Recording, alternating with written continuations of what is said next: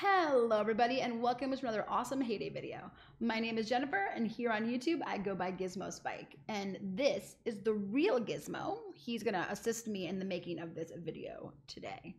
Um, he assists a lot actually. Um, this video is well overdue. Um, I should have made it about a month ago when I got the last zebra, but I was a little bit too busy and so I am now only getting around to it. So Surprise! I have both of my zebras. So what we're to do right now is I'm to go into the puzzle book and I am going to buy their house, place it in my sanctuary, and get a special delivery. So we're to click on, we're to complete it. So as you can see right here on the screen, um, both the Mohawk zebra and the cowlick zebra have both been completed. So um, I need to upgrade the zebra. Well, I first have to place the zebra house to get the animal, and then I have to upgrade the zebra house to get the second um, zebra. So we're gonna go in here, and we're gonna go into here. Um, nope, sorry. let's go. Let's see where we're gonna put him, Gizmo. Let's put him right there. And here comes the first little zebra. There we go. And then if I tap and I click on the up arrow, I'm going to upgrade. And here comes the second zebra. Ooh, that second one is landing very slowly. So I now officially have both zebras on my farm and I do have um, enough of the hay bundles to feed them and I like to always put down um, more as soon as they've eaten. I'm gonna come on back here. All right, we're gonna wake them up because each of the animals has their own unique animation when you tap on them.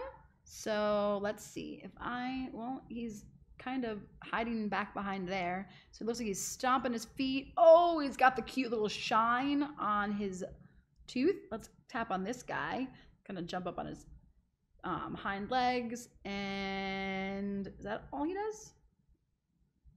Oh, he sticks his tongue out too. Okay, and so let's, this is a way better view of this guy prances a little bit and then the little gleam of the teeth. Very, very cute. Now, what that also means too, the fact that I have both of the zebras now is if I go in here into my decorations, I now have four new decorations. Um, I have the kangaroo paw, which we're going to place one down so we can see what it looks like. And then I have the red acacia, which is really big and really, really pretty. And then I have the red oats grass, which I don't know which one's my favorite out of all these. And then I have the star grass. Hmm, out of all of these, what is my favorite? I don't know.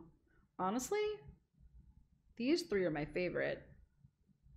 The red acacia is pretty, but I would have to say that these guys are my pretty are my are my favorite and the prettiest. They are pink. Jade will be happy to know that I like them because they are pink. So, all right. Well, you guys, officially, I now have completed my um, puzzle book for the second time who knows? Will we get more animals in the next update? I guess we're gonna have to wait and see. Um, I'm gonna assume at some point we're gonna get baby zebras. So um, maybe it'll be next update. Maybe it'll be the update after that. But um, baby zebras will be very good addition to that. So then we'll have to collect puzzle pieces all over again, and I don't mind it. It gives us more stuff to do on the farm. So um, they're cute. I am kind of curious to see how many of you guys actually have completed your um, puzzle book again, gotten both of the zebras. So let me know in the comments below if you have both of them, if you have one of them, if you don't have any of them. Um, if you haven't even completed your puzzle book from like the original animals, I'd love to know in the comments below. And if you liked this video, make sure you give it a thumbs up. And if you're not already subscribed to my channel, remember that it is free to subscribe to a channel on YouTube, but it will make me very, very happy. So go ahead and hit that red subscribe button. Thanks so much for watching, everybody. Happy farming. Wheating is life. Peace.